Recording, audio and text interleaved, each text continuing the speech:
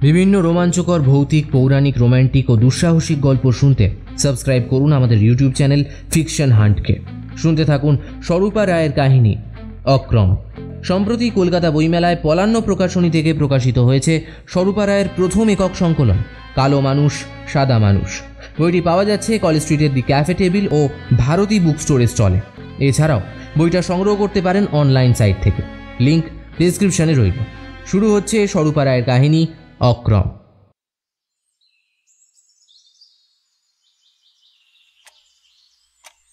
এখন কেমন আছেন মিসেস চ্যাটার্জি? ইন্সপেক্টর সুভাষের প্রশ্ন শুনে চোখ তুলে তাকালো পূর্বাশা। মাথার চুল উস্কো খুস্কো। ডান চোখের নিচে কালশিটে দাগ। ঠোঁটের পাশে কাটা। কপাল জুড়ে ব্যান্ডেজ। পূর্বাশা একটা দীর্ঘশ্বাস ছেড়ে বলল ভালো নেই। সুভাষ একটা টুল টেনে বসে আবার জিজ্ঞেস করল আপনি কি এখন আপনার স্টেটমেন্টটা দিতে পারবেন? পূর্বাশা মাথা নেড়ে বলল হ্যাঁ পারব। সুভাষ নিজের হাতে ধরা রেকর্ডারটা অন করে পূর্বাশার সামনে এগিয়ে দিয়ে জিজ্ঞেস করল আচ্ছা সেদিন রাতে ঠিক কি হয়েছিল? পূর্বাশা কিছুক্ষণ চুপ করে থাকার পর বলতে শুরু করল রোজকার মতোই আমি ডিনারের পর রাতের বাসন মেজে বেডরুমে ঢুকেছিলাম। দরজা বন্ধ করে ড্রেসিং টেবিলের সামনে গিয়ে দাঁড়াতেই অভি আমাকে নিজের কাছে ডাকলো। আমি জানতাম তার ওই ডাকের কারণ। প্রায় রোজ রাতেই ওরা আমাকে ভোগ না করতে পারলে শান্তি হয় না। সেদিন রাতে আমি ওকে জানাই যে আমার পিরিয়ড শুরু হয়েছে। তাই সম্ভব নয় শারীরিক মিলন। কিন্তু অভি আমার কথা কখনোই শোনেনি। সে বিছানা ছেড়ে উঠে আসে আমার কাছে। আমাকে পিছন থেকে চড়িয়ে ধরে আমার পিঠে নিজের ঠোঁট বোলাতে শুরু করে। আমি ওকে রিকোয়েস্ট করি যে আমাকে এই পাঁচ দিন রেহাই দিতে। কিন্তু অভি তাও মানেনি। আমাকে জোর করে কোলে তুলে বিছানায় নিয়ে গিয়ে ফেলে। প্রতি রাতের মতোই আমার ইচ্ছার বিরুদ্ধে অভি সেদিন রাতেও আমার সাথে শারীরিক সম্পর্কে লিপ্ত হয়। শারীরিক মিলন শেষে অভি ঘুমিয়ে পড়ে। শারীরিক ও মানসিক কষ্টে কাঁদতে কাঁদতে আমিও একসময় ঘুমিয়ে পড়েছিলাম। হঠাৎ মাঝরাতে ঘুম ভাঙে একটা ফিস ফিস শব্দে। চোখ খুলে দেখি বারান্দার দরজা খোলা। পাশে অভি ছিল না। আমি খুব ধীর পায়ে উঠে বারান্দার দিকে এগিয়ে যাই।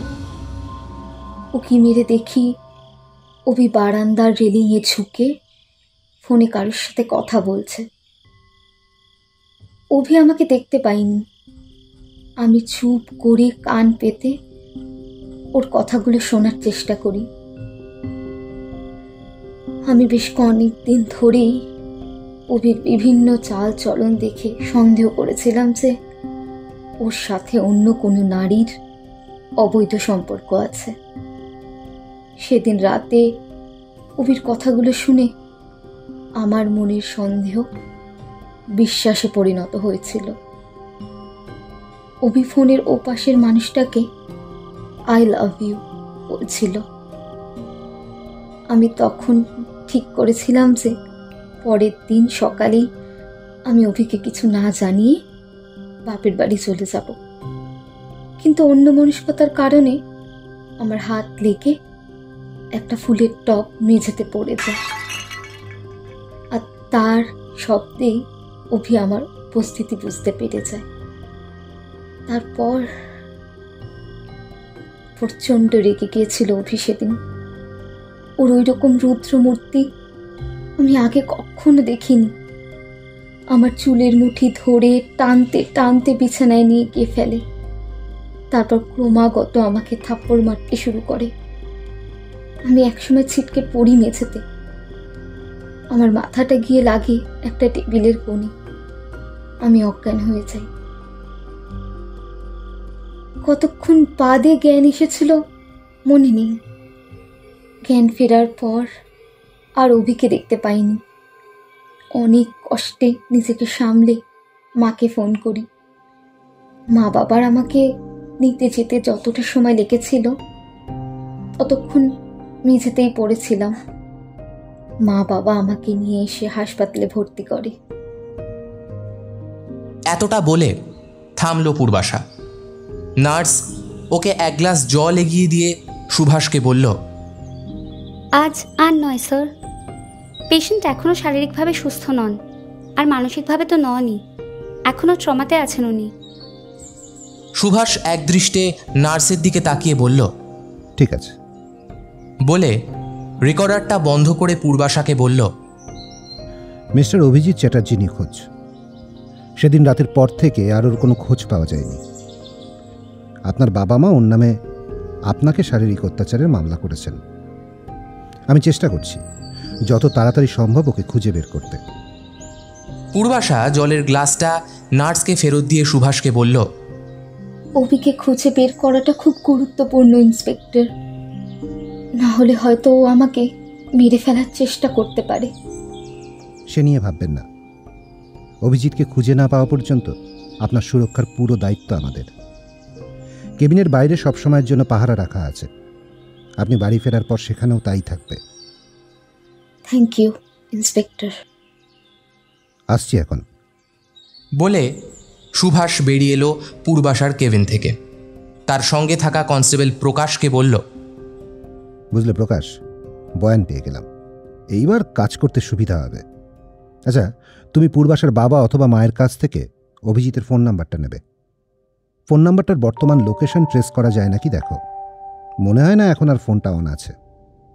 অবশ্য সেটা না হলেও সেদিন সকাল থেকে ওই নম্বরে কার কার ফোন এসেছে এবং ওই ফোন থেকে কোথায় কোথায় ফোন গেছে সব কিছুর লিস্ট আমাকে দেবে। এছাড়া পূর্বাসাদের আবাসন, অভিজিতের অফিস, দুজনের আত্মীয় স্বজন বন্ধুবান্ধব যত জনের সাথে যোগাযোগ করা যায়, সবার কাছ থেকে ওদের দুজনের মধ্যেকার সম্পর্ক কেমন ছিল এবং হ্যাঁ অভিজিৎ মানুষটা কেমন ছিল, সেটার খোঁজ নেবে। আচ্ছা ওই আবাসনের সিসিটিভি ফুটেজটাও চেক করবে। আশা করছি কলেজ থেকেই অভিজিতের প্রেমিকার খোঁজটা পেয়ে যাব। তাকে একবার পেলে অভিজিতের নাগাল পাওয়া যেতে পারে। আপনি যা যা বললেন সব হয়ে যাবে স্যার। আপনি কি এখন থানায় যাবেন? হ্যাঁ কেন? আমি পূর্বাশা ম্যাডামের আবাসে যাচ্ছি। সিসিটিভি ফুটেজটা কালেক্ট করে নিই। আর বাকি বাকি কাজগুলো আজকের মধ্যে যতটা সম্ভব মিটিয়ে ফেলব। দ্যাটস গুড আমি তবে থানায় যাচ্ছি। তুমি আপডেট নিয়ে এসো। ওকে স্যার সুভাষ মন দিয়ে একটা ফাইলে কিছু একটা পড়ছে। মোবাইলের রিংটোনের শব্দে তার সম্বিত ফিরল। স্ক্রিনে নাম ভাসছে রেখার। ফোন রিসিভ করতেই ওপাশ থেকে রেখার প্রথম প্রশ্ন। লাঞ্চ করেছ? সুভাষ হাত ঘড়িটা দেখে বলল না করিনি এখনও। করব। তোমাদের খাওয়া হয়ে গেছে? হ্যাঁ আমাদের সময় মতোই হয় রোজ। তোমার হয় না। কটা বাজে খেয়াল আছে? সাড়ে তিনটে মাত্র। সাড়ে তিনটে মাত্র?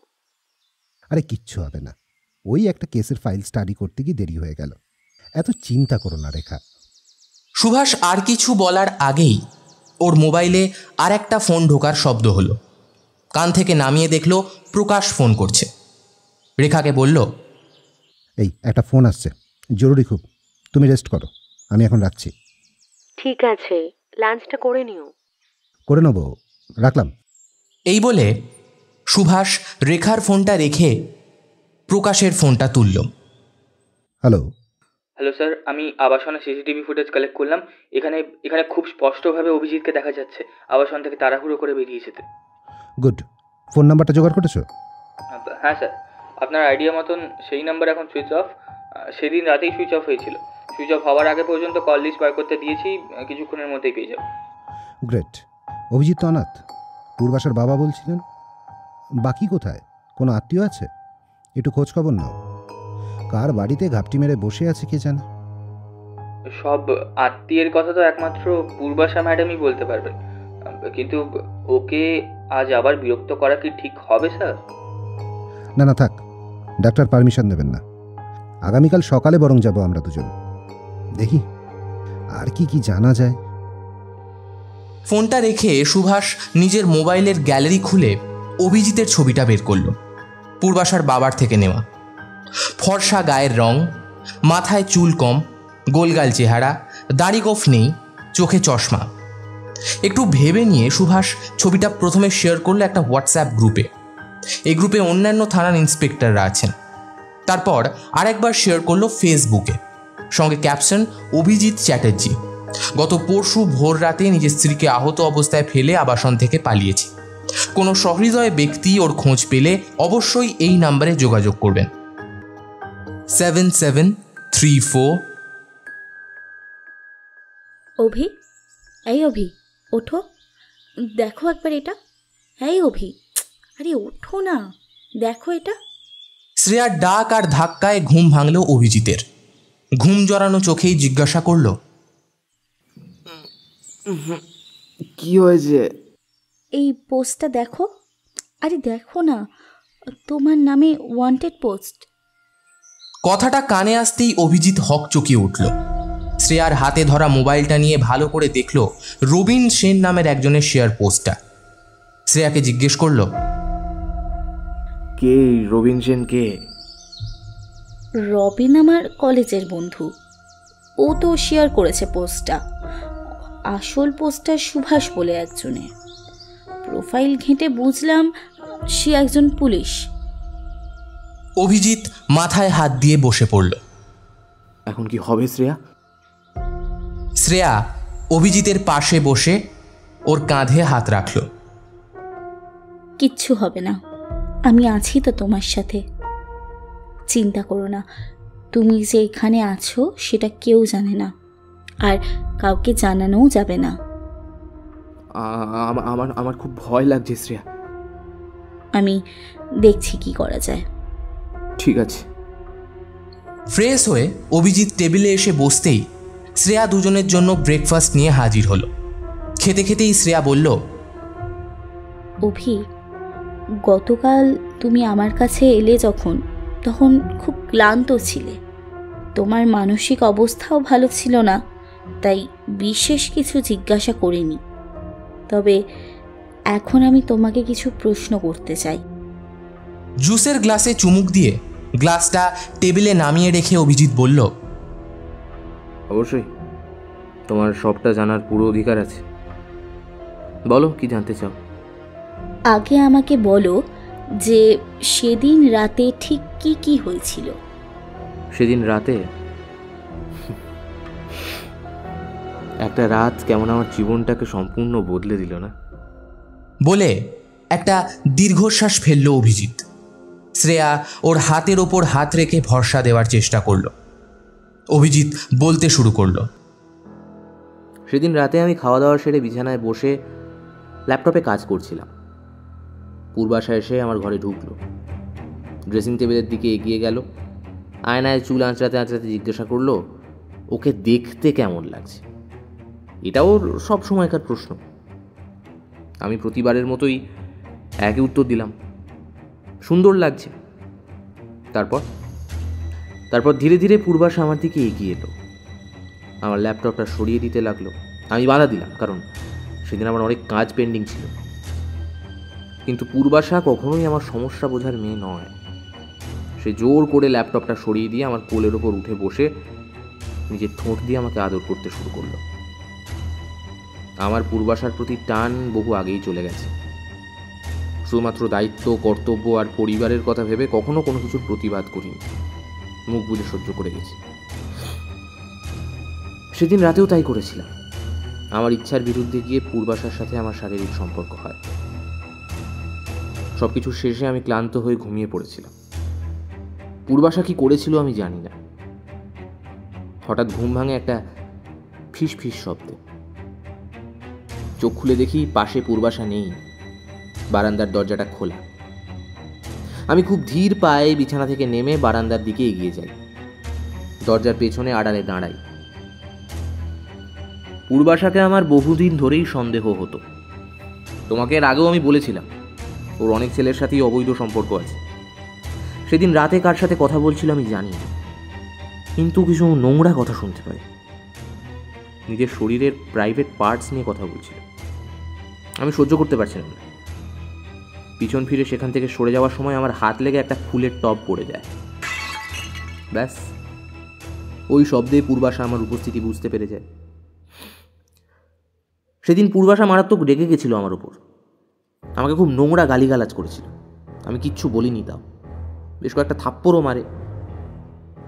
তাও আমি কিছু বলিনি।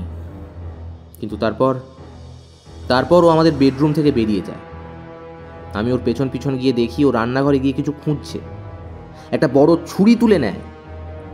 আমি খুব ভয় পেয়ে যাই। আমি আর এক মুহূর্ত সেখানে দাঁড়াইনি ছুটে বেরিয়ে যাই। হাতের কাছে মানি ব্যাগটা পেয়েছিলাম। বসার ঘরে সেন্টার টেবিলই ছিল। ভাগ্যিস ওটা নিয়ে বেরিয়েছিলাম। আবাসন থেকে বেরিয়ে আমি সোজা চলে যাই শিয়ালদহ স্টেশনে। তখন গভীর রাত। রাতটা ওখানেই অপেক্ষা করে ভোরের ট্রেনে আমি শিলিগুড়ি আসি। সবটা শুনে শ্রেয়া বলল, ভয়ানক। মানে আমি ভাবতেও পারছি না যে পূর্বাশা তোমাকে খুন করার চেষ্টা করতে পারে। আর এদিকে পুলিশ তোমাকে খুঁজছে। এটার কারণ তো বুঝলাম না। এটা পূর্বাশারই কোনো কাণ্ড হবে। জানি না কি হচ্ছে তবে আমার এখন কি করা উচিত তা আমি বুঝতে পারছি না। আমার মতে তোমার এখন কলকাতা ফিরে ডাইরেক্ট থানায় যাওয়া উচিত। সবটা খুলে বলা উচিত। তারপর দেখা যাক কি হয়। তুমি যাবে আমার সাথে? হুম যাব। এখন কেমন আছেন মিসেস চ্যাটার্জি? সুভাষ জিজ্ঞাসা করল পূর্বাশাকে। পূর্বাশা জল খেয়ে গ্লাসটা নার্সের হাতে দিয়ে বলল অভিজিতের কিছু খবর পেলেন? না এখনও কোনো হদিশ পাইনি তবে আমরা পুরো চেষ্টা করছি। আচ্ছা আবাসনে আপনাদের আশেপাশের ফ্ল্যাটগুলোতে জিজ্ঞাসা করেছিলাম। ওরা কোনো চিৎকার চেঁচামেচি সেদিন রাতে শোনেনি বলছে। আর আপনাদের এত বড় একটা ঘটনা ঘটেছে শুনে ওরা বেশ অবাক। কেউ জানে না আপনাদের সম্পর্কে তিক্ততার কথা। পূর্বাশা একটা তাচ্ছিল্যে ভরা হাসি হেসে বলল কে জানবে? বুঝবে কীভাবে? অভি কাউকে বুঝতে দিয়েছে নাকি কোনোদিন? আমিও দিইনি। আমি ভাবতাম আমাদের ঘরের কথা বাইরের লোককে জানিয়ে কি লাভ? তারা হাসাহাসি করবে। আর কিছুই করবে না। আর অভি সবার সামনে আমার সাথে খুব ভালো ব্যবহার করত। কারও বোঝার ক্ষমতা ছিল না যে ও আসলে কেমন। আমার বাবা মাও কখনো বুঝতে পারেনি। আর সেদিন রাতে খুব একটা চিৎকার চেঁচামেচি হয়নি। তাই হয়তো কেউ শোনেনি। আচ্ছা অভিজিৎ তো অনাথ। আপনার বাবা বললেন। তবে ওর অন্য কোনো আত্মীয়র খবর জানেন কি? ওদের তো প্রায় সব আত্মীয়ই বাংলাদেশে থাকে। অভি উচ্চ মাধ্যমিক পাশ করে ভারতে এসেছিল। তারপর এখানেই থেকে যায়। ওর এক দিদি থাকে কলকাতায়। তার কাছেই ও আগে থাকতো। পরে চাকরি পেয়ে এই ফ্ল্যাটটা কেনে হুম সেই দিদির সাথে এখনও যোগাযোগ আছে? হ্যাঁ আছে। যাতায়াত তো হয়। আচ্ছা ওই দিদির বাড়ির ঠিকানাটা দিতে পারবেন? পারব। সুভাষ পূর্বাশার থেকে অভিজিতের সেই দিদির বাড়ির ঠিকানা শুনে নিজের নোটবুকে লিখে ফেলল। আপনার কাছে আরও অনেক কিছু জানার আছে তবে আজ এই পর্যন্তই। আমরা অভিজিৎকে যত তাড়াতাড়ি সম্ভব খুঁজে বার করার চেষ্টা করছি। আপনি তাড়াতাড়ি সুস্থ হয়ে উঠুন। থ্যাংক ইউ ইন্সপেক্টর সুভাষ আর প্রকাশ পূর্বাশার কেবিন থেকে বেরিয়ে আসতেই সুভাষের মোবাইলটা বেজে উঠল। সুভাষ প্যান্টের পকেট থেকে মোবাইলটা বের করে দেখল রেখার নাম ভাসছে স্ক্রিনের ওপরে ফোন তুলে সুভাষ বলল রেখা আমি তোমার সাথে একটু পরে।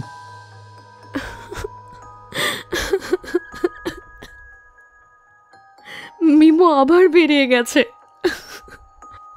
সুভাষ এই কথাটা শুনে বিরক্তি প্রকাশ করল।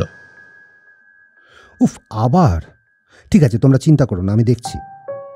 তাড়াতাড়ি যাও আমার ভীষণ ভয় করছে। ছেলেটা উল্টো পাল্টা কিছু করে ফেললে? আরে ও কিচ্ছু করবে না ভয় পেও না। সরি আমি পারিনি। এবার ওকে আটকাতে আমি পারিনি। আমার হাত ছিটকে বেরিয়ে গেল। শান্ত হও রেখা। আমি জানিও কোথায় আমি যাচ্ছি এক্ষুনি। ওকে সাথে নিয়েই আমি বাড়ি ফিরছি। ঠিক আছে। ফোনটা রেখে সুভাষ প্রকাশকে বলল প্রকাশ অভিজিতের এই দিদির সাথে কথা বলতে হবে। আগামীকাল সকালে যাব। মিমো আজ আবার বাড়ি থেকে বেরিয়ে গেছে। স্যার আপনি মিমোর কাছে যান আমি এদিকে অভিজিতের কল লিস্ট কালেক্ট করে নিই। কাল দেখা হচ্ছে স্যার। হ্যাঁ ঠিক আছে। সুভাষ এসে পৌঁছলো তার বাড়ির কাছের একটি নদীর ঘাটে।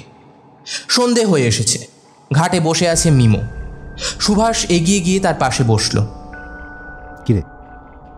আবার বাড়ি থেকে এভাবে বেরিয়ে এলি? সুভাষ জিজ্ঞাসা করল মিমোকে। আমার আমার চার দেওয়ালের ভিতরে থাকতে খুব দম বন্ধ রাখছে গো মামা। আমি আমি পারি না থাকতে। তাই বলে কেউ এভাবে বেরিয়ে আসে? তুই জানিস না? তোর দিম্মার মামি কতটা টেনশন করে? দিম্মা দিম্মার মামি ভাবে যে আমি হয়তো বাইরে বেরিয়ে আত্মহত্যা করব। কিন্তু কিন্তু আমি কিচ্ছু করব না, মামা। আমার না, আমার শুধু একা এই খোলা হাওয়ার মধ্যে থাকতে থাকতে একটু কম কষ্ট হয়। তাই তাই জন্যই এখানে আসি। আমি জানি তোর এখানে এলে ভালো লাগে। আর আর তুমি তুমি ঠিক আমাকে খুঁজতে প্রতিবার এখানে চলে আসো। আমি জানি তুই এখানেই আসবি। আমি আমি তোমাদের খুব বিরক্ত করি তাই না মামা? সুভাষ মিমোর মাথায় হাত বুলিয়ে দিল। একদম না। তুই আমাদের একটুও বিরক্ত করিস না। জানিস আমরা তিনজনই তোকে খুব ভালোবাসি। তাই তো আমাদের চিন্তা হয়। আমরা চাই তুই দ্রুত এই ট্রমাটা কাটিয়ে বেরিয়ে আয়। তোকে একটা সুস্থ জীবন উপভোগ করতে দেখতে চাই। জানি মামা আমিও চাই কিন্তু কিন্তু পারছি না তো। পারবি রে বাবা পারবি। আমরা সবাই তোর সঙ্গে আছি। এই এবার বাড়ি চল। মা রেখা অপেক্ষা করছে তো। একটা দীর্ঘশ্বাস ফেলে মিমো। হ্যাঁ হ্যাঁ চলো। একটা ঝাঁকুনি দিয়ে ট্রেনটা ছাড়ল। অভিজিৎ আর শ্রেয়া চলেছে কলকাতার উদ্দেশ্যে। দুজনে সাইডের লোয়ার বার্থে মুখোমুখি বসে।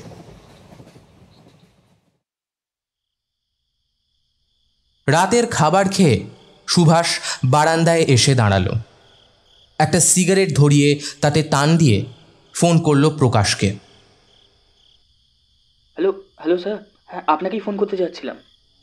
আহ, কোনো খবর আছে? কল লিস্ট পেয়ে গেছি অভিজিতের সেদিন রাত্রে লাস্ট কল একটা নাম্বারে হয় তার আম, তারপর থেকেই নাম্বারটা সুইচ অফ সেই নাম্বারেই তার নিয়মিত কথা হতো এবং আমার অনুমান হয়তো এর সঙ্গেই অভিজিতের কোনো অবৈধ সম্পর্ক আছে। হুম হবে হয়তো। কার নম্বর এটা? সেটা আগামীকাল জানা যাবে স্যার। নাম ধাম সব পেয়ে যাব। ঠিক আছে দেখো। আমাকে জানাও। আগামীকাল অভিজিতের ওই দিদির বাড়িতেও যেতে হবে। দেখি কিছু জানা যায় কি না। হ্যাঁ স্যার স্যার মিমো ঠিক আছে? হ্যাঁ হ্যাঁ। অনেক বুঝিয়ে মা খাইয়ে দিল। এখন ঘুমোচ্ছে। ওর পুরোপুরি ঠিক হতে বেশ সময় লাগবে। তা তো লাগবেই। এত বড় একটা ট্রমা কাটানো বিশাল ব্যাপার। সেটাই। যাই হোক সকালে দেখা হচ্ছে। Good night.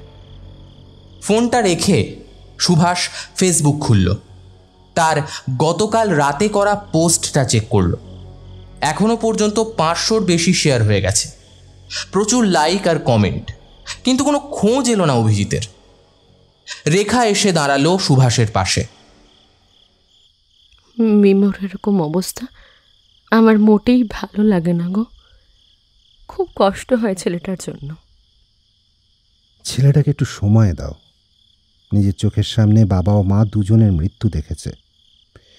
নিজে চেয়েও কিছু করতে না পারার একটা অসম্ভব কষ্ট চাপা পড়ে আছে ওর মধ্যে। ওর জায়গায় নিজেকে একবার দাঁড় করিয়ে দেখো। কি যে কষ্ট ছেলেটার মনের মধ্যে। সব বুঝি আমি। ওকে পেটে ধরিনি তো কি হয়েছে? নিজের বাচ্চাই ভেবেছি আমি ওকে। সে ছোট্টবেলা থেকে আমার কাছে থাকে। ওকে আমি বুঝব না? সুভাষ রেখাকে বুকে জড়িয়ে ধরে বলল, নিজেকে শক্ত করো রেখা। মিমুকে তুমি ছাড়া এই মুহূর্তে আর অন্য কেউ সামলাতে পারবে না। ওকে যেন কোনো কিছুর মধ্যে ব্যস্ত রাখতে হবে। ও স্কুল, টিউশন, আর্ট ক্লাস আর গিটার ক্লাস আবার শুরু করার চেষ্টা করো। ওকে বুঝিয়ে সবের মধ্যে আবার ইনভলভ করো। আশা করছি সময়ের সঙ্গে সঙ্গে সব ঠিক হয়ে যাবে। আমিও তাই চেষ্টা করছি। রাত অনেক হয়েছে। নার্সিং হোমের মূল গেট বন্ধ হয়েছে। এরপর শুধু এমার্জেন্সি কেসেই খুলবে। পুরো নার্সিং হোম নিরিবিলি। পূর্বাশা তিনতলার একটা কেবিনে শুয়ে আছে। ওর কেবিনে এই মুহূর্তে আর অন্য কেউ নেই। নার্স লাস্ট ওষুধটা দিয়ে ঘুমোতে বলে গেছে। নিস্তব্ধ পরিবেশের মধ্যে হঠাৎ পূর্বাশার মোবাইলটা সশব্দে বেজে উঠল। মাথার বালিশের নিচে রাখা মোবাইলটা তাড়াতাড়ি হাতে নিয়ে রিসিভ করল কলটা। হ্যালো। কেমন আছো এখন? ঠিকই আছি। বাড়ি কবে ফিরবে? কাল বা পরশু ডিসচার্জ দিয়ে দেবে শুনছিলাম। কেন? দেখা করতে যাব? আপাতত একদম না। ফোনে কথা হবে। অভিকে একবার পুলিশ খুঁজে বের করুক। তারপর সুযোগ বুঝে দেখা করব। কিন্তু অভিকে খুঁজে পাওয়ার পর তো আবার ঝামেলা হবে। ও তো সেদিন রাতে সমস্ত গল্প আবার বলবে। তোমার গল্পের সঙ্গে যদি ওর গল্পের মিল না থাকে তখন তো আরও সমস্যা। পুলিশ তো সব ঘাটিয়ে দেখবে। তোর সমাজের প্রতিটা মানুষ নারীদের কথা আগে বিশ্বাস করে। পুলিশ খতিয়ে দেখেই বা কি জানবে? সেদিন রাতে কি ঘটেছিল আমাদের বেডরুমে? সেটা আমি আর অভি ছাড়া অন্য কেউ জানার কথা নয়। নো উইকনেস তাহলে ভয় কিসের? আমি ঠিক কান্নাকাটি করে হলেও আমার গল্পই বিশ্বাস করাবো পুলিশকে। এটা হলে তো ভালোই হয়। আমার জানো তোমাকে ছাড়া আর কিচ্ছু ভালো লাগছে না। কবে যে আবার তোমাকে সামনে পাবো? খুব শীঘ্রই। My darling I love you baby love you too এখন ঘুমাও। কালকে ফোন করব ওকে করলে রাতেই করবে। সকালে কখনো বাবা মা কখনো অন্য কোনো আত্মীয় বা বন্ধু আবার কখনো ইন্সপেক্টর এসে হাজির হয়। নার্সও থাকে। হ্যাঁ রাতেই করব। Good night good night Subhash আর প্রকাশ সকাল সকাল এসে পৌঁছলো পূর্বাশার বলে দেওয়া অভিজিতের দিদির বাড়িতে। কলিং বেল বাজাতেই বেরিয়ে এলো একজন মধ্যবয়সী ভদ্রমহিলা। সাত সকালে পুলিশকে দেখে ভ্রু কুঁচকে এসে বলল হ্যাঁ বলুন। আপনি মিসেস চন্দ্রা? হ্যাঁ আমাকে কি প্রয়োজন? আপনার সঙ্গে দু মিনিট বসে কথা বলতে পারি? কি বিষয়ে? আপনার ভাই অভিজিতের ব্যাপারে। অভি কি হয়েছে অভির? সে নিখোঁজ আপনি জানেন না? না? আমি তো কিছু জানি না। নিখোঁজ মানে? কোথায় গেছে? ভিতরে আসব? আসুন। অভিজিৎ আপনার কেমন ভাই? পিস্তুত ভাই। আপনারা তো বাংলাদেশের মানুষ। হ্যাঁ। আমার জন্ম বড় হয়ে ওঠা সব ওখানেই। বিয়ের পর স্বামীর সঙ্গে এখানে চলে আসি। অভি উচ্চ মাধ্যমিক পাশ করে ভারতে আসে। আমার কাছেই আগে থাকতো।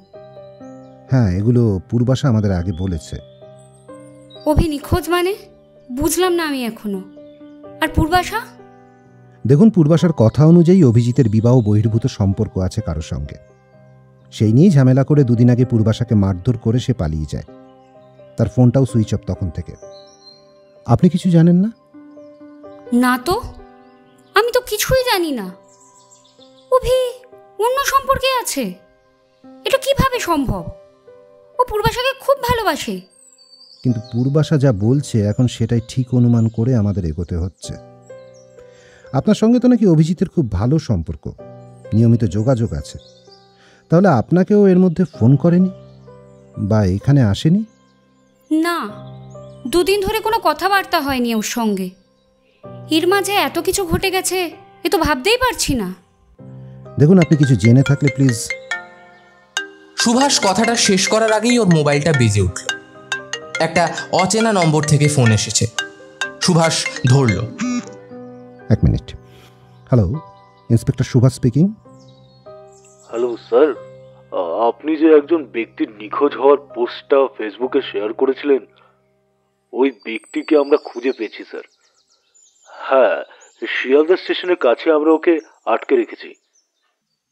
হোয়াট গ্রেট লোকেশনটা আমাকে এই নম্বরে হোয়াটসঅ্যাপ করতে পারবেন? হ্যাঁ স্যার পারব। থ্যাংক ইউ ওকে আটকে রাখবেন প্লিজ আমরা এক্ষুনি আসছি। Okay sir. ফোন রেখেই সুভাষ বলল অভিকে পাওয়া গেছে। লোকেশন পাঠাচ্ছে। চলুন স্যার তাড়াতাড়ি। আমিও যাব। চলুন। আরে আমি তো বলছি যে আমি কলকাতা ফিরছি পুলিশের কাছে গিয়ে সব ক্লিয়ার করার জন্য। অভিজিৎ চিৎকার করে উঠল।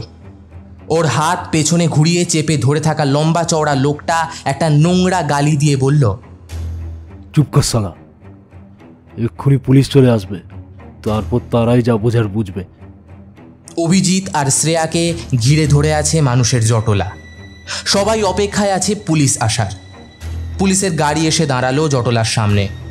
গাড়ি থেকে সুভাষ প্রকাশ আর চন্দ্রা নেমে এলো। চন্দ্রাকে দেখে অবাক হয়ে গেল অভিজিৎ। দিদি? তুই কি করেছিস অভি? আমি আমি কিছু করিনি দিদি আমাকে আমাকে পূর্বাশা ফাঁসাচ্ছে। সে পূর্বাশা আপনাকে ফাঁসাচ্ছে কিনা সেসব এখন দেখার কাজ আমাদের। অভিজিৎ কিছুক্ষণ সুভাষের দিকে তাকিয়ে থাকার পর জিজ্ঞেস করল তাহলে আপনি মিস্টার সুভাষ? ইন্সপেক্টর সুভাষ। এই বলে হাত করাটা অভিজিতের হাতে পড়িয়ে প্রকাশকে বলল নিয়ে চলো একে। অভিজিৎকে আর কোনো কথা বলার সুযোগ না দিয়ে প্রকাশ গাড়িতে তুলল। বাকিরাও গাড়িতে উঠে বসল। ঘরের মাঝখানে একটা চেয়ারে বসে অভিজিৎ সামনে টেবিল মুখোমুখি চেয়ারে বসে সুভাষ মাথার ওপরে জ্বলছে একটা হলুদ বাল্ব। সেদিন রাতে কি হয়েছিল? সুভাষ জিজ্ঞাসা করল অভিজিৎ সেদিন রাতে কি ঘটেছিল সেটা শ্রেয়াকে যেমন বলেছিল ঠিক তেমনি সবটাই সুভাষকে বলল। সুভাষ অবাক হয়ে জিজ্ঞাসা করল সেদিন রাতে শারীরিক সম্পর্কের জন্য আপনি পূর্বাশাকে জোর করেননি? একেবারেই না। ওর প্রতি আমি বহুদিন ধরেই কোনো শারীরিক আকর্ষণ অনুভব করি না। কেন? আপনার দিদি বলল যে আপনি নাকি পূর্বাশাকে খুব ভালোবাসেন। হ্যাঁ ভালোবাসি। খুব ভালোবাসি। কিন্তু তার মানে তো এটা নয় যে শারীরিকভাবে আকর্ষিত হতেই হবে। আপনার কথা মতো আপনি পূর্বাশাকে জোর করেননি। সে আপনাকে জোর করেছিল তাই তো? হ্যাঁ। আপনার এই শারীরিকভাবে আকর্ষিত না হওয়ার কারণ কি? কিছু না এমনি। দেখুন আমাকে মিথ্যা বলতে পারবেন না। বলুন যে আপনার নিজের স্ত্রীর প্রতি এই শারীরিকভাবে আকর্ষিত না হওয়ার কারণ বাইরে বসে থাকা আপনার প্রেমিকা। কি? কে আমার প্রেমিকা? শ্রেয়া। সেটা তো আপনিই বলবেন। শ্রেয়া আমার প্রেমিকা নয় ও আমার শুধুমাত্র বন্ধু এবং ডাক্তার। আমি ডিপ্রেশনে ভুগছি বহু বছর হলো শ্রেয়া আমার ট্রিটমেন্ট করে। উনি আপনার প্রেমিকা না? না একেবারেই না। আপনি তাহলে পালিয়ে নিজে দিদির বাড়িতে না গিয়ে ডাক্তারের কাছে কেন গিয়েছিলেন? শ্রেয়ার সঙ্গে পরিচয় আমার প্রথম ডাক্তার পেশেন্ট হিসেবে কিন্তু আমার ট্রিটমেন্ট করতে করতে কখন যে সে আমার ভালো বন্ধু হয়ে ওঠে আমরা কেউই জানি না। শ্রেয়া আগে এখানেই থাকতো। বছরখানেক হলো শিলিগুড়িতে একটা নার্সিংহোমে সে যুক্ত হয়েছে। পূর্বাশা চেনে শ্রেয়াকে? না। পূর্বাশা কোনো দিনও আমার কোনো খোঁজই রাখেনি। আমিও জানাইনি যে আমি ডিপ্রেশনের পেশেন্ট। উনি এটাই ভাবেন যে আপনার সঙ্গে একজনের অবৈধ সম্পর্ক আছে। আমার কারোর সঙ্গে কোনো অবৈধ সম্পর্ক নেই। তবে পূর্বাশার আছে। হ্যাঁ ঠিক। আপনি বলেছিলেন যে সেদিন রাতে পূর্বাশা কারোর সঙ্গে ফোনে কথা বলছিল আর আপনি শুনেছেন। কার সঙ্গে কথা বলছিল বলতে পারবেন কি? না তা আমি জানি না। তবে আমি শিওর যে পূর্বাশার কারোর সঙ্গে কোনো অবৈধ সম্পর্ক আছে। দেখুন যেভাবে আপনার সম্পর্কে পূর্বাশার ভুল ধারণা আছে তেমনি আপনারও থাকতে পারে। আমার ধারণা ভুল হলে আমি সব থেকে বেশি খুশি হব ইন্সপেক্টর। আচ্ছা সেদিন পূর্বাশার গায়ে হাত তুলেছিলেন কেন? না না না না। আমি ওর গায়ে হাত তুলিনি ও আমার গায়ে হাত তুলে। পূর্বাশা কিন্তু আহত অবস্থায় হাসপাতালে ভর্তি হয় সেদিন রাতে। বিশ্বাস করুন ইন্সপেক্টর আমি সত্যি ওর গায়ে হাত তুলিনি। তাহলে পালিয়ে গেলেন কেন? পূর্বাশার ভয়। ভয়ে পালালে দিদির কাছেও যেতে পারতেন তো। আমার মাথায় এসেছিল সেই সময় যে আমি যদি দিদির বাড়ি যাই তবে পূর্বাশা সেখানে যেতে পারে। কারণ সে জানে কলকাতায় আমার দিদি ছাড়া আর কেউ নেই। তাই আমি শ্রেয়ার কাছে চলে যাই। তো ফোনটা সুইচ অফ করে দেওয়ার কারণ? চার্জ শেষ হয়ে যায়। সুইচ অফ করিনি পরে আমার মাথায় আসে চার্জ দেওয়ার কথা। আচ্ছা আমাকে কি বোকা মনে হয়? মোবাইলে চার্জ দেওয়ার কথা মনে ছিল না? না ছিল না। ওকে। তাহলে ফিরে এলেন কেন? পুলিশকে নিজে সব জানাব বলে। আপনার ফেসবুক পোস্ট দেখেই বুঝেছিলাম যে আমার নামে কিছু মিথ্যে রটনা হয়েছে। সুভাষ আর কিছু বলল না। একটা দীর্ঘশ্বাস ফেলল শুধু। প্রকাশকে ডেকে অভিজিৎকে লক আপে নিয়ে গিয়ে বসাতে বলল আর এইবার ডাকলো শ্রেয়াকে। তো ডক্টর শ্রেয়া তাই তো? হ্যাঁ। আপনি অভিজিতের ডাক্তার। হ্যাঁ। বন্ধু। ইয়েস। তা এই বন্ধুত্ব কবে থেকে শুরু? অভিজিতের সঙ্গে আমার প্রথম দেখা আমার চেম্বারেই। অ্যাজ আ পেশেন্ট আমিও ট্রিটমেন্ট শুরু করি। ও প্রায় আমার চেম্বারে আসতো আমার সঙ্গে কথা বলে ওর নাকি ভালো লাগতো। এভাবেই ধীরে ধীরে আমাদের মধ্যে একটা বন্ধুত্বের সম্পর্ক গড়ে ওঠে এই আর কি। এত গভীর বন্ধুত্ব যে নিজের বাড়িতে সেই বন্ধুকে রাতেও রাখা যায়। নিশ্চয়ই। আচ্ছা অভিজিৎ ঠিক কবে এবং কখন আপনার শিলিগুড়ির বাড়িতে গিয়ে উপস্থিত হয়? গতকাল রাতে। বেশ। আপনি অবাক হননি হঠাৎ ওকে দেখে? না আসলে আমি জানতাম ও যাচ্ছে। আগের দিন রাতেই আমাকে ফোনে সেটা জানিয়েছিল। পরের দিন সকালে ট্রেনে সে রওনা দেয়। আচ্ছা বুঝলাম। পূর্বাশা এবং অভিজিৎ দুজনের মুখে দুই রকম বিবরণ শুনেছি সেই রাতের। তা আপনি এই ব্যাপারে কিছু বলবেন? দেখুন আমি পূর্বাশাকে চিনি শুধুমাত্র অভিজিতের মুখেই। ছবি দেখেছি, কিন্তু কথা বলিনি কখনো। তাই জানি না সে কেমন, তবে এটা জানি যে অভিজিৎ ভালো মানুষ। সে পূর্বাশাকে যথেষ্ট ভালোবাসে। কিন্তু তার সন্দেহ যে পূর্বাশা অন্য কাউকে ভালোবাসে। সেটা বুঝেছি। আচ্ছা অভিজিতের ডিপ্রেশনটা কি ধরনের? দেখুন আমি যতদূর বুঝেছি অভিজিতের এই পুরো ডিপ্রেশনটাই পূর্বাশাকে ঘিরে। সে পূর্বাশাকে যেহেতু খুব ভালোবাসে তাই সব সময় তাকে শুধুই নিজের ভাবে। পূর্বাশা অন্য কাউকে ভালোবাসে এই সন্দেহটা ওর মধ্যে যখনই প্রখর হয়ে ওঠে তখনই ওর মধ্যে বিভৎস রাগ জেগে ওঠে।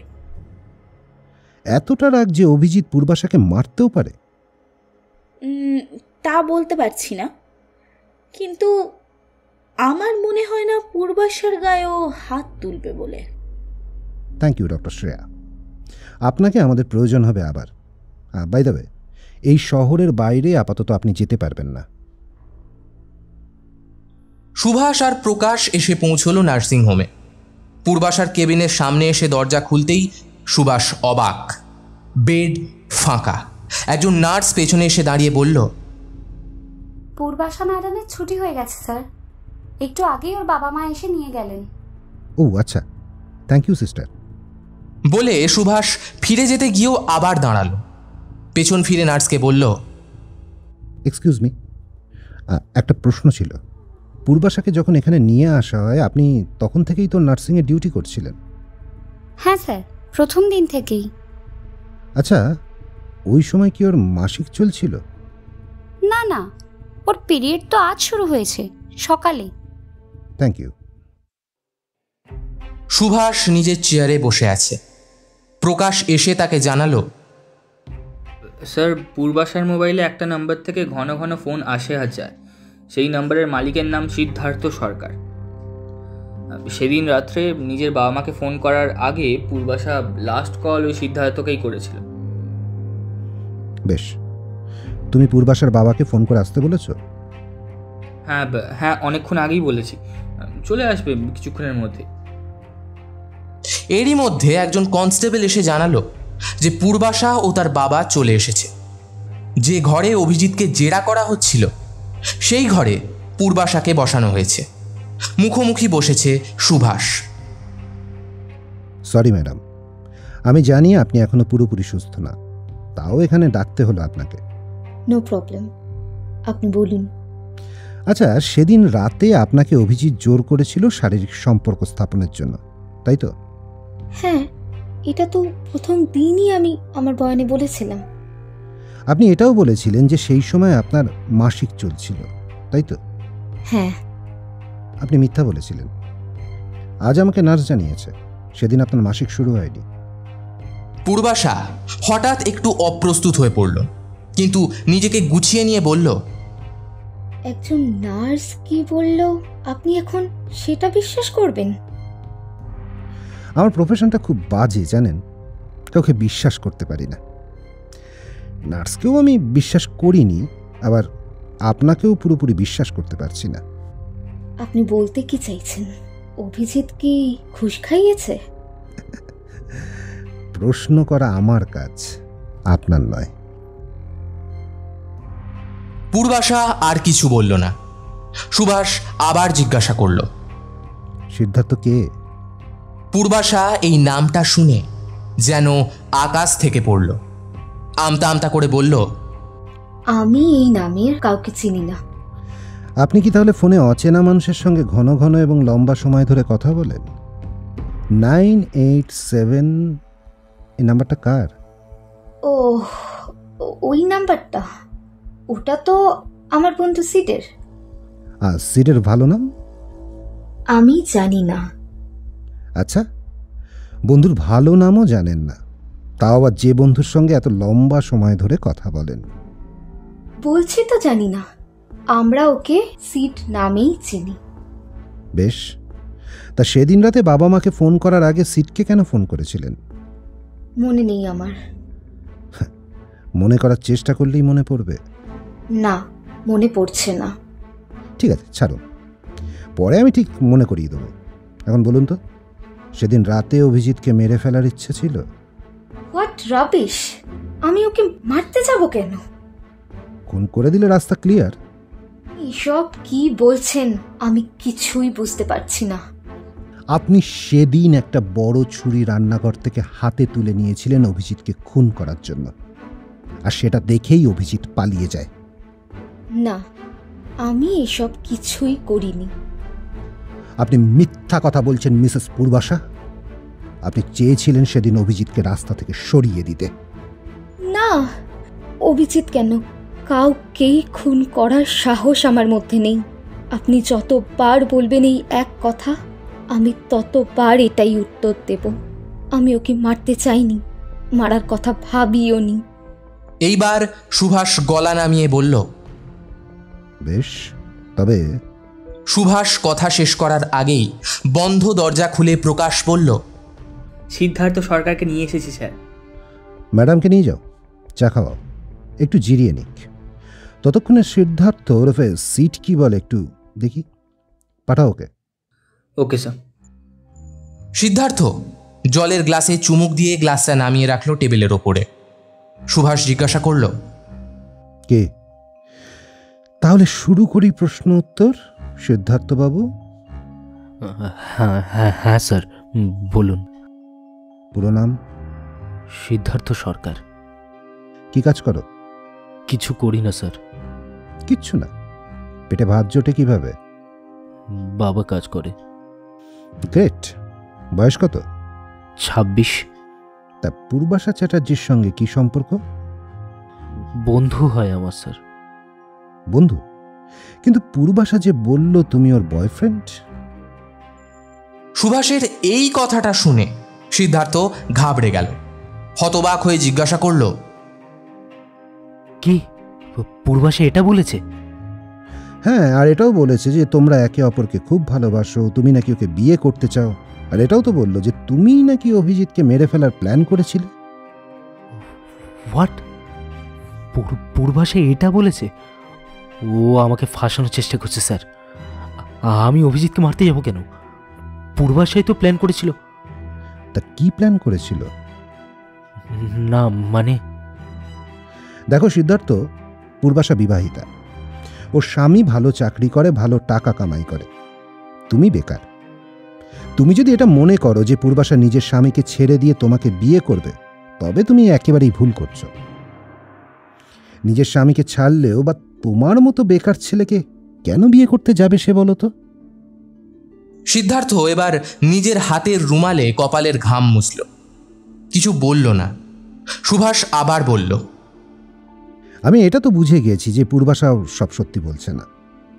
হয়তোবা তোমাকে ফাঁসিয়ে নিজে বাঁচার প্ল্যান করছে। সিদ্ধার্থ আমি বলি কি তুমি আমাকে যদি সব সত্যি বলে দাও তবে আমি তোমাকে ফাঁসতে দেবো না। খামুখা এত কম বয়সে একজন বিবাহিত মহিলার জন্য কেন নিজের জীবনটা নষ্ট করবে? নাও ইয়োর চয়েস সিদ্ধার্থ চুপ করে থেকে কিছুক্ষণ ভাবল তারপর বলল ঠিক আছে স্যার। আমি আপনাকে সব সত্যি বলছি। সুভাষের ঠোঁটের কোণে মুচকি হাসি। সে বলল that's like a good boy মুখোমুখি বসে অভিজিৎ আর পূর্বাশা। অন্যান্য চেয়ারে যথাক্রমে সুভাষ প্রকাশ সিদ্ধার্থ চন্দ্রা শ্রেয়া। পূর্বাশার বাবা মা এবং সিদ্ধার্থর বাবা। সুভাষ প্রথমেই সিদ্ধার্থকে বলল সিদ্ধার্থ তুমি আর সেই সব কথা আবার বলবে যা তুমি গতকাল আমাকে বলেছিলে। সিদ্ধার্থ এবার পূর্বাশার দিকে তাকাল। পূর্বাশা রাগে জ্বলছে। সিদ্ধার্থ মুখ ঘুরিয়ে বলতে শুরু করল পূর্বাশার সঙ্গে আমার পরিচয় হয় বছর দুয়েক আগে। একটা ডেটিং অ্যাপের মাধ্যমে। প্রথমে মেসেজে কথাবার্তা শুরু হয়, তারপর ফোনে অবশেষে আমরা দেখা করি। পূর্বাশা যে বিবাহিত, তাও আমাকে প্রথম দিন যখন দেখা হয়, সেদিনই বলে দিয়েছিল। আমার তখনই একটু আপত্তি ছিল এই সম্পর্কে। কিন্তু ও জানায় যে, ওর স্বামী ওকে ভালোবাসে না। খুব শীঘ্রই ডিভোর্স দিয়ে দেবে। তারপর ও আমাকে বিয়ে করতে পারবে। আমি যদিও বিয়ের প্রতি সেই সময় কোনো রকম আগ্রহী ছিলাম না, আমি পূর্বাশাকে শারীরিকভাবে পেতে চেয়েছিলাম। ভেবেছিলাম কিছুদিন সময় কাটিয়ে ওকে ছেড়ে দেবো। আমরা ধীরে ধীরে ক্লোজ হতে থাকি। আমি বহুবার মিস্ত্রি সেজে পূর্বাশার আবাসনে গিয়েছি। সেখানেই আমরা শারীরিকভাবে মিলিত হয়েছি বহুবার। পূর্বাশা আমাকে টাকা, পয়সা, উপহার দিতে শুরু করে। আমি বেকার জেনেও প্রতিশ্রুতি দেয় যে আমাকে বিয়ে করবেই অভিজিৎকে ডিভোর্স দিয়ে। কিন্তু আমি তারপরেও কখনো ওকে ভালোবাসিনি। তবে আমার মধ্যে টাকা, পয়সার লোভ বাড়তে থাকে। পূর্বাশা অনেকবার রাগের মাথায় আমাকে বলেছিল যে সে অভিজিৎকে প্রাণে মেরে ফেলতে চায়। আমি কখনো কথাটাকে গুরুত্ব দিইনি। সেদিন রাতে পূর্বাশা যখন আমাকে ফোন করে, তখন আমি ঘুমাচ্ছিলাম। আমাকেও বলে যে, আমার কথা নাকি খুব মনে পড়ায়, অত রাতে ফোন করেছে। আমরা বেশ কিছুক্ষণ ভিডিও কলে কথা বলি। আমাকে নগ্ন হতেও বলেছিল পূর্বাশা। এরকম আমরা আগেও করেছি। আমি নগ্ন হয়েছিলাম। তারপর হঠাৎ একটা জোরে শব্দ পাই।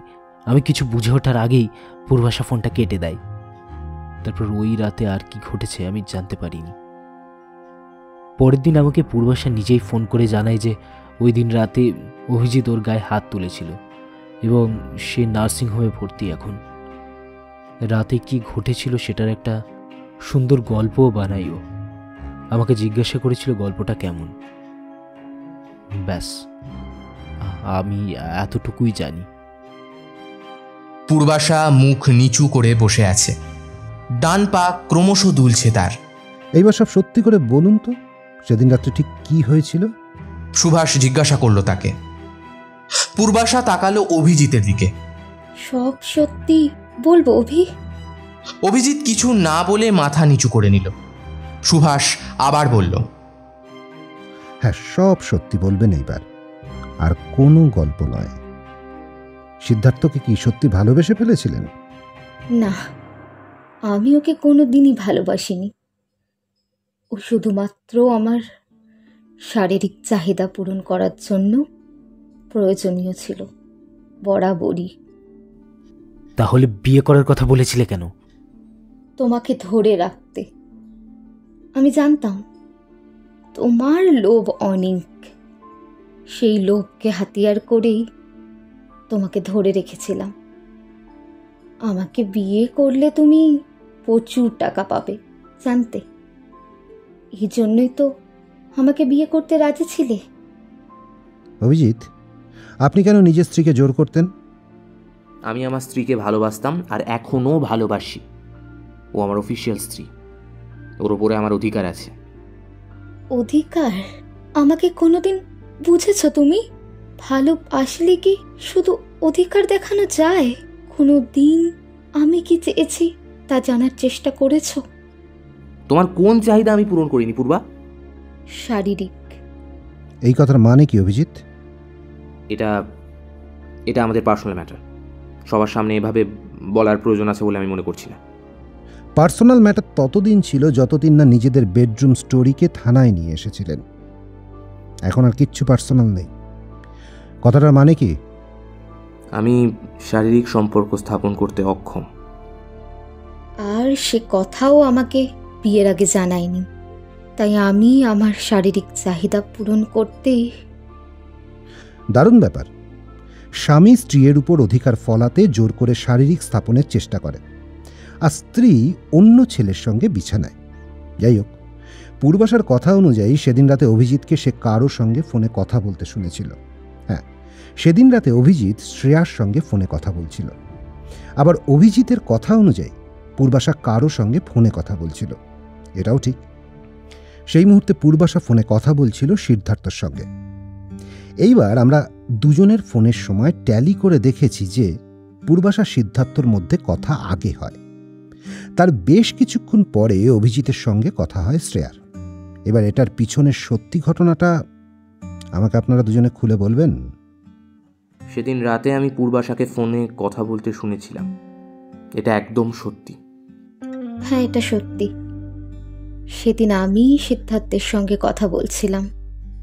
আর অভি সেটা আড়াল থেকে শুনছিল। আমি জোরে কিছু পড়ার শব্দে পেছনে ফিরে অভিকে দেখতে পাই। আর তারপরেই আপনি অভিজিতের উপর চড়াও হন তাই তো? পূর্বাশা কিছু বলার আগেই এবার অভিজিৎ বলল না ও আমার উপরে চড়াও হয়নি। আমি নিজের রাগ সামলাতে না পেরে প্রথমে হাতের কাছে টেবিলে সজোরে চাপড় মারায় ফুলের টপটা পড়ে যায়। পূর্বাশা আমাকে দেখে ফেলার পর আমি সেদিন প্রথম ওর গায়ে হাত তুলি। আপনি বলেছেন যে স্ত্রীকে ভালোবাসেন। ভালোবাসলে কেউ গায়ে হাত তোলে? আমি সহ্য করতে পারি না এটা যে পূর্বাশা আমি ছাড়া অন্য কাউকে গুরুত্ব দেবে। আমি কি করব? আমার শরীর যদি আমার সাথ না দেয়? আমি ভালোবাসায় কোনোদিনও কোনো কমতি রাখিনি। বিশ্বাস করুন আমি একে সুখে রাখতে চেয়েছি সব সময় একটা সম্পর্কে কি ভালোবাসার কোনো মূল্য নেই শারীরিক সম্পর্ক ছাড়া? ও একজনকে ভালো না বেসে শারীরিক সম্পর্কে যেতে পারে নিজের ইচ্ছায়। আর আমি তো বাধ্য। আমি শারীরিক সম্পর্ক মেটাতে অক্ষম। সেটার জন্য সেটার জন্য আমার আমার তো কিছু করার নেই। প্রচুর ডাক্তার দেখিয়েছি কিচ্ছু হয়নি। মিসেস পূর্বাশা আপনি অভিজিৎকে ভালোবাসেন না? পূর্বাশা মাথা নিচু করে বসে আছে। ওর চোখে জল। নিজেকে একটু সামলে নিয়ে বলল খুব ভালোবাসি কিন্তু কিন্তু কি? আমি জানি যা করেছি অন্যায় করেছি হিট অফ দ্য মোমেন্ট হয়ে গেছে। এই ভুল আমি শুধরাতেও পারব না। আর আমাদের সম্পর্ক এখন চাইলেও স্বাভাবিক হবে না। কেন হবে না? তুমি চাইলেই হবে। সবটা জানার পরেও তুমি আমাকে মেনে নেবে? খুব ভালোবাসি আমি তোমাকে। তোমাকে ছাড়া বাঁচবো না। সেদিন রাতে অভি যখন আমার গায়ে হাত তোলে তখন আমি সেলফ ডিফেন্সের জন্য রান্নাঘরে ছুটে যাই। হাতে ছুরি তুলে নিই কিন্তু ঘরে ফিরে আর অভিকে দেখতে পাইনি। মাথা কাজ করছিল না। ঠিক ভুল জ্ঞান হারিয়ে ফেলেছিলাম। তারপরেই বাকি আপনারা জানেন। আমি সেদিন বাড়ি থেকে বেরিয়ে শ্রেয়ার কাছে যাওয়া ছাড়া অন্য কোথাও যাওয়া সুরক্ষিত মনে করিনি। তাই ওকে ফোনে শুধুমাত্র যাচ্ছি জানিয়ে ফোন অফ করে দিই। আমি পূর্বাশার গায়ে হাত তোলার পর নিজেকে মাফ করতে পারছিলাম না। আমি জানতাম পরিস্থিতি স্বাভাবিক হবার পরেও হয়তো আমি ওর মুখোমুখি দাঁড়াতে পারব না। ও যেন আমার সঙ্গে ফোনে যোগাযোগ করতে না পারে অন্তত কিছুদিন তাই ফোন অফ করে দিই। সুভাষ একটা দীর্ঘশ্বাস ছেড়ে বলল নিজেদের বেডরুম স্টোরিকে থানায় টেনে এনে ভালো করেননি আপনি মিসেস চ্যাটার্জি। পূর্বাশা মাথা নিচু করে বলল সরি স্যার। সুভাষ পূর্বাশার বাবাকে বলল আপনি অভিজিতের উপরে যে কেসটা দিয়েছিলেন সেটা তুলে নিন। ওরা দুজন নিজেদের ভুল বুঝেছে। অন্যায় দুজনই করেছে। এবার সব ভুলে আবার নতুন করে সংসার করুক। পূর্বাশার বাবা অভিজিতের ওপরে দেওয়া কেস তুলে নিলেন।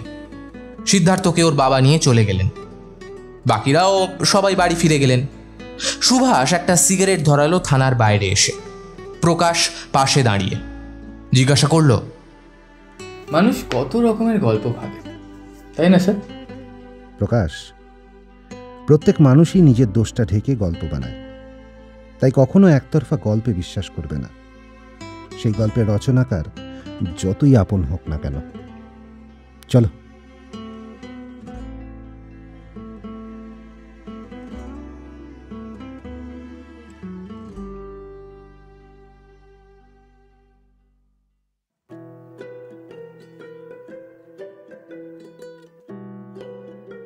শুনছিলেন স্বরূপা রায়ের কাহিনী অক্রম গল্প, পাঠ ও অভি, আমি সায়ন্তন। ইন্সপেক্টর সুভাষ, প্রদীপ্ত চৌধুরী, কনস্টেবল প্রকাশ ও মিমো, আর্য। পূর্বাশা, মধুশ্রী। শ্রেয়া, তৃষা। রেখা, সুচিস্মিতা। নার্স ও চন্দ্রা, দেবস্মিতা। সিদ্ধার্থ ও অজ্ঞাত লোক, প্রীতম। শব্দ সংযোজন ও আবহ সৃষ্টিতে, শঙ্খ। পোস্টার ডিজাইনে, সুজিত। গল্পটা কেমন লাগল কমেন্ট সেকশনে জানাতে ভুলবেন না, আর ভালো লাগলে অবশ্যই শেয়ার ও সাবস্ক্রাইব করে পাশে থাকবেন। তো, আজকের মতো এই পর্যন্তই, আবার হাজির হব আরও একটা রোমহর্ষক গল্প নিয়ে। সবাই সুস্থ থাকুন, ভালো থাকুন। শুভরাত্রি।